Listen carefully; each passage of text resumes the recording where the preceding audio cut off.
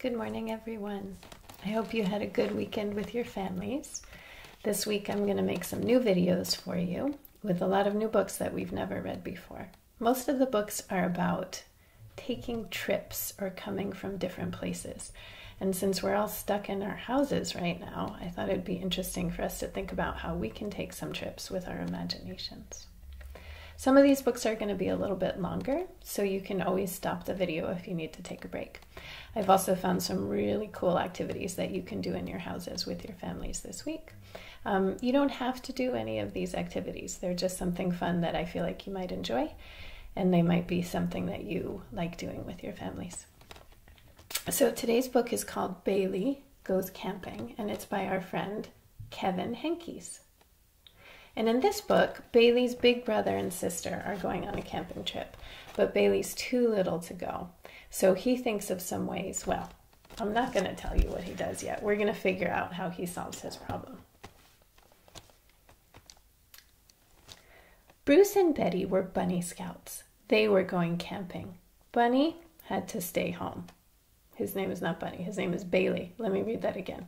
Bruce and Betty were bunny scouts. They were going camping. Bailey had to stay home. I want to go camping, said Bailey.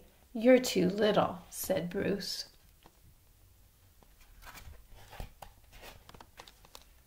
But in a few years you can, said Betty.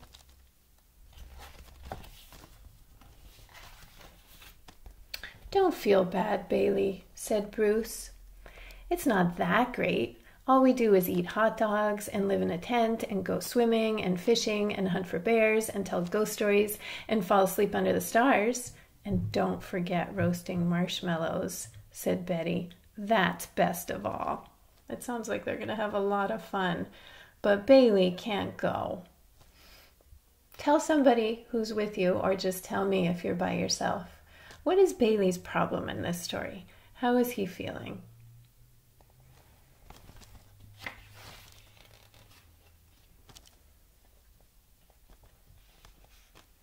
Bailey watched Bruce and Betty leave. It's not fair, he said.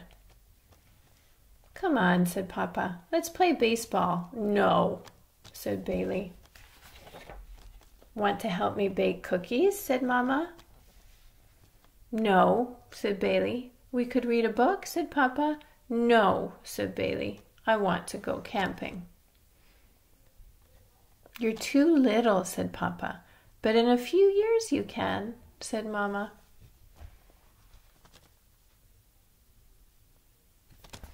Sounds like how a lot of us are feeling. We can't do anything, we just have to stay in the house. Don't feel bad, Bailey, said Papa. It's not that great. Oh, yes, it is, said Bailey. You get to eat hot dogs and live in a tent and go swimming and fishing and hunt for bears and tell ghost stories and fall asleep under the stars. And best of all, you roast marshmallows.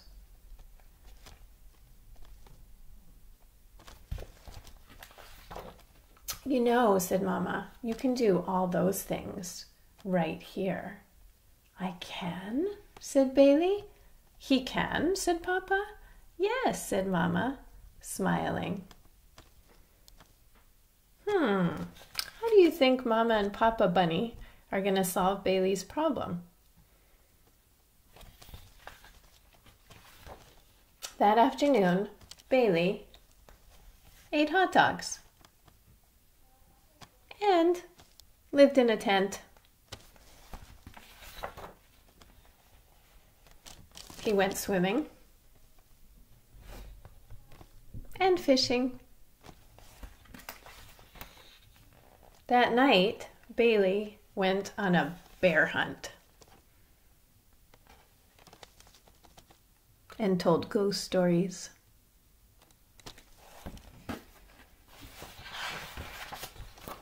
And best of all, he roasted marshmallows.